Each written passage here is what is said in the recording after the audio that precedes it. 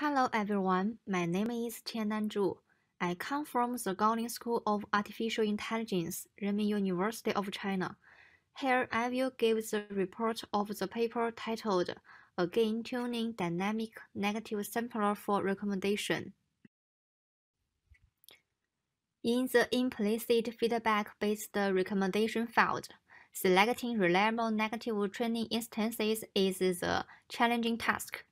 Uniform negative sampler suffers from the gradient vanishing problem. Hard negative sampler maintains the hard negative samples with a high gradient for training, causing the false negative samples to be selected preferentially. Those issues may lead to overfitting and further poor generalization of the model. Thus, we design an expectational gain sampler to get the negative selection dynamically.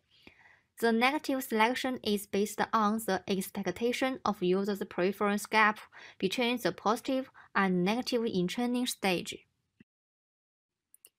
Our proposed model is composed of the gain-aware negative sampler and group-wise optimizer.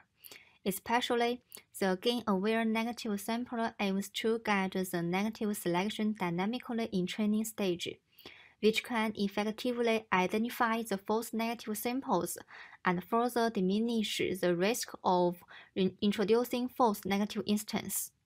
For improving the training efficiency, the group-wise optimizer constructs positive and negative groups for each user in each iteration and optimizes them in a cross manner. In the gain-aware negative sample, we first devise an exposure-aware function to measure negative singles in the exposure date. The probability of the non-interacted item j in the exposure date being a real negative sample is defined as the equation 1. The equation 1 indicates the expectation of the non-interacted item j with the interacted item set delta u. The higher Value, the more likely it is to be a false negative sample. Moreover, compared with the expectation of the score difference between the positive and negative samples in equation 1, the expectational gain between two iterations is a more sensible single to monitor the difference between the negative sample and the positive item set. Correspondingly, we develop a gain-aware function to calculate the probability of item j being a real negative sample as equation 2. Here, alpha is a smoothing hyperparameter to make the training stable. According to the gain tuning sampler, the unobserved intersections of a given user with higher G are selected as the negative samples for models optimization. This is because that the false negative samples usually have the larger than the true negative samples.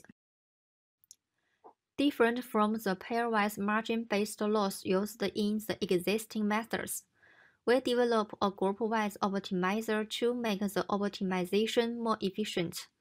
The group-wise ranking loss is defined as equation 4. The key step is to construct the positive and the negative group training samples for each user in one epoch. The positive group .u are constructed by sampling n times independently from users' observed interactions. The negative group is constructed by selecting more reliable negative samples with top n higher g from users' unobserved interactions. Then, the arbitrary two positive and negative sample form a pair and further constructs a training group for the user. To make a fair comparison, we use a matching function as equation 3 used in GMF to calculate the matching score of the given pair of the user U and item I. Before the gradient update, we update the G values for negative selection of the next iteration. So, why the group-wise optimizer works? Essentially, different from the isolated gradient information in the pairwise approach. The group-wise optimizer shares the gradient information among all samples in the same group. For example, in the right subfigure, the item I1 can acquire necessary gradient information by the cross operation in the same group for improving the embedding in our model. On the contrary, the item I1 in the left subfigure can only obtain the gradient information from the pair U1 I1 and U1 J1. Moreover, our group-wise optimizer can reduce the consumption of feature encoding. That's the calculation of the matching scores.